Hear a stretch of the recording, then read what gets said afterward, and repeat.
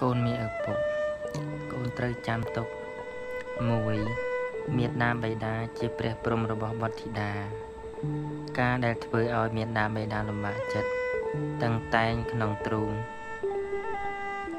យំបង្ហូរទឹកភ្នែកគឺជាបាបកម្មដ៏ធ្ងន់របស់កូន2ការជឿស្ដាប់ដំបូន្មានល្អរបស់មេត្តាបិតារមែងមិនមានការសាបសូន្យឡើយ ពូលគឺមិនជជែករឹងរូសតែម្យ៉ាង កូននឹងបានល្អគ្រប់យ៉ាង3ការតបស្នងព្រះគុណដល់អ្នកមានគុណគឺតាំងតែពីអ្នកមានគុណនៅមានជីវិតរហូតដល់ចែកឋាន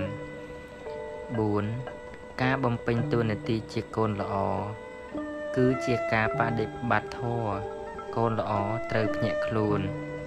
ត្រូវរហ័សរហួនវាវៃ ត្រូវឈានទៅមុខត្រូវធ្វើការងារប្រជែងជាមួយពេលវេលា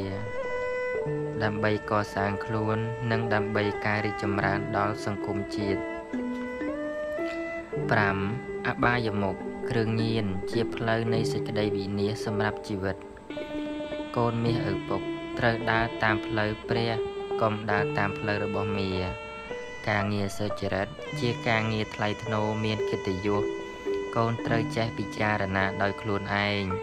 ដាស់តឿនខ្លួនឯងកុំលេះលោះកុំតម្រុនត្រូវឆ្ងាយពីអបាយមុខស្រីស្រាលបែងនិងបាបមិត្តត្រូវដើរនៅក្នុងផ្លូវធម៌ជានិច្ចកូនមាសឪពុកចូលកូនពិចារណាកំណត់មួយថា កូនកុំប្រមាថក្នុងជីវិតផ្លូវនេះនៅចិត្តក្បែរមាត់ជ្រោះចិញ្ចឹមជីវិតឲ្យបានរស់